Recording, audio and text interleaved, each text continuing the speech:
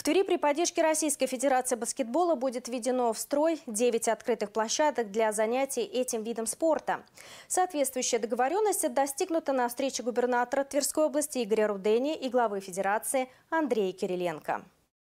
На встрече шла речь о создании в Твери многофункционального спортивно-общественного пространства. Это 9 уличных площадок для занятий баскетболом, тренажеры, детские площадки и зоны общественного питания. Глава Верхней Волжи высказал большую заинтересованность этим проектом. Знаю, что у вас э, есть предложение по большому проекту интересному в нашем э, регионе.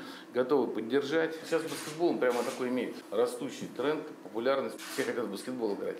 Современное оснащение площадок позволит проводить соревнования регионального, всероссийского и международного уровня по уличному баскетболу в формате 3 на 3. Центральный корт будет оснащен трибунами, звуковым и иным необходимым оборудованием. Это даст возможность задействовать его для любых тематических встреч и концертов. Реализовать проект планируется в текущем году. Андрей Кириленко убежден, что благодаря поддержке региональных властей сроки работ будут максимально короткими.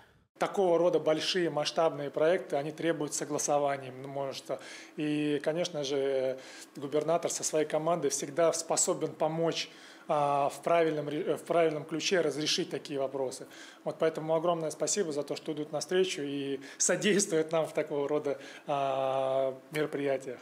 На сегодня баскетбол в регионе является базовым и одним из наиболее популярных игровых видов спорта. Им занимается более 12 тысяч человек. В муниципалитетах работают отделения детско-юношеских спортивных школ, в которых обучаются более трех тысяч детей. Воспитанники Тверской области выступают на профессиональном уровне, в том числе в единой лиге ВТБ. А в апреле регион станет хозяином масштабного мероприятия – всероссийского финала школьной лиги «Локо Баскет», участниками которого будут более 500 учеников со всей страны.